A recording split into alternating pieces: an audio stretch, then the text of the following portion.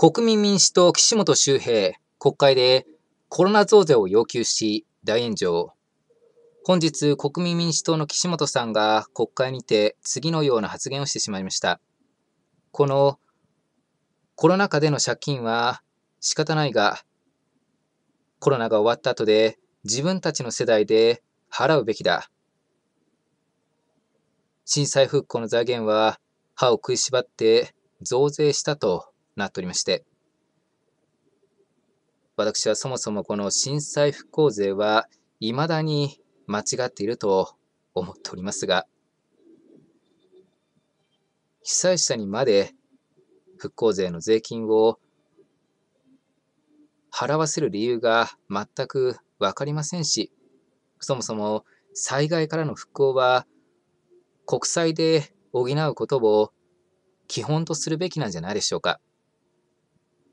現状すでに日銀は500兆円分の国債を通貨を発行して買い入れており、現状コロナ禍の国債発行借金は政府、日銀内で完結しておりますので、増税の根拠とはなりません。また、昨年の段階でコロナ禍のマイナス成長は政府の支援策によって9割は取り戻しており、今年中には成長に転じる可能性もございますが、経済成長を達成すれば、同じ税率でも政府の税収、収入は増えることになりますので、増税よりもまずはコロナ禍からの復旧、復興が最優先でしょう。岸本さんのように国会議員がこのような主張すれば国民がげんなるし、気分が落ち込み、さらに不景気になってしまう可能性がございます。景気の気は気分の気でございますので、ぜひとも国民民主党だけではなく、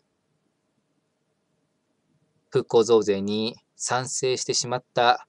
すべての国会議員の皆様には、復興増税は失敗だったと速やかに認めていただき、このような災害からの復興は国債で